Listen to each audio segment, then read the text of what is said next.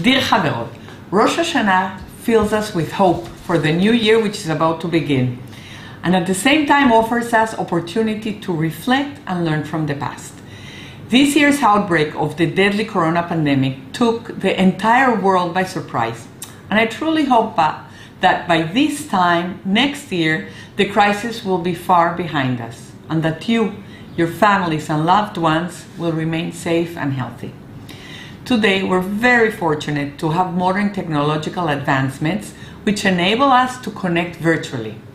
But in ancient times, the sound of the shofar echoed far and wide, inviting the nation to gather. Today, thousands of years later, the shofar continues to represent an important holiday symbol, weaving our precious past with our promising future. This year, as we celebrate WIZO's 100th anniversary, of doing what matters, the 100 notes of the shofar, which are sounded every day during the two day holiday, are particularly meaningful and inspire us to look towards the future.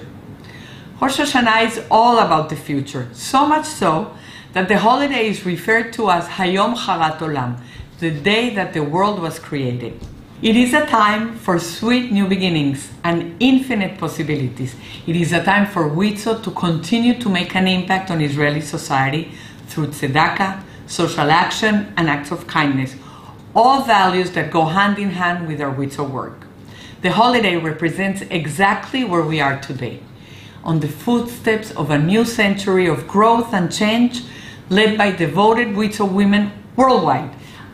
As the beginning of the new year, I'd like to express my heartfelt appreciation for keeping WIZO strong over the past century and to convey warm wishes for a very successful new year. לשנה vati תכתבו vetechatmu.